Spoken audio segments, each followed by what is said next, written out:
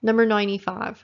The generic name of augmentin is A. Amoxicillin B. Amoxicillin with clavulanic acid C. Sulfamethoxazole with trimethoprim or D. Azithromycin. And the answer is B. The generic name of augmentin is amoxicillin with clavulanic acid. Um, amoxicillin by itself is just Amoxil is the brand name. Sulfamethoxazole with trimethoprim is Bactrim or Septra.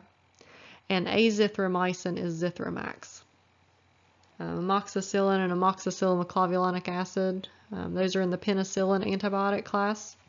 Sulfamethoxazole with trimethoprim is a sulfa antibiotic, and azithromycin is a macrolide antibiotic in the class with erythromycin.